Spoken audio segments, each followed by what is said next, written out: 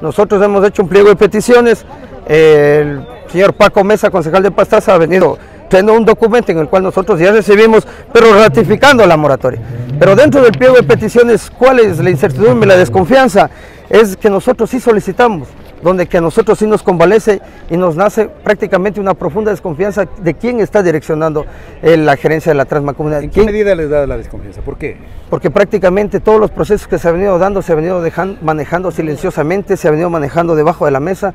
No hemos sido nosotros prácticamente ni informados y hasta la, la fecha de hoy y hasta el día de hoy no se tiene ni un permiso de presión, ninguna información del tema de la nueva compañía. Todo eso ha incomodado a la transportación de pastos. Yo tengo que mencionar, no es solo el taxismo, es la transportación en las diferentes modalidades, incluso volquetas, transporte pesado.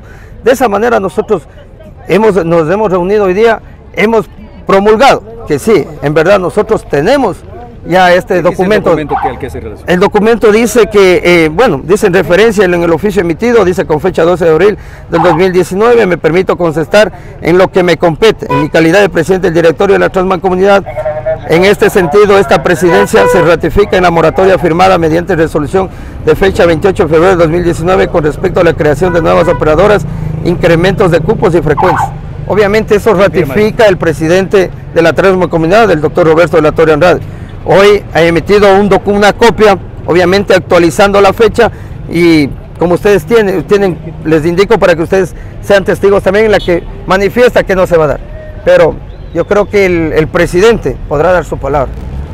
El presidente podrá decir miles maravillas, pero asimismo se lo dijo al inicio.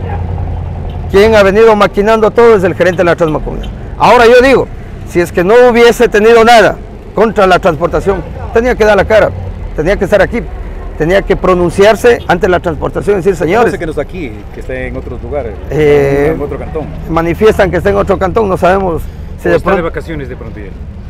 Es una incertidumbre porque todo se ha venido ocultando, entonces no podemos nosotros aseverar de una persona que ha ocultado información relevante. Le ocultan prácticamente los mismos funcionarios porque debe existir un documento que se ha salido de vacaciones o, o está haciendo trámite. gestiones en otro cantón. Mire, o sea, de esa manera nosotros ahora nos declaramos en sesión permanente, mañana tal vez estamos aquí de nuevo. Obviamente tendrá que llegar, algún rato tendrá que llegar y esta situación no se va a terminar hasta que dé la renuncia el señor. O sea, solamente la renuncia nada más. Nosotros pedimos la renuncia, tenemos una nueva, tenemos, tenemos ya parte del pliego de peticiones aprobado, que es que se mantiene, se mantiene la moratoria y ahora es la renuncia. Pero me faltan pocos días para que salga.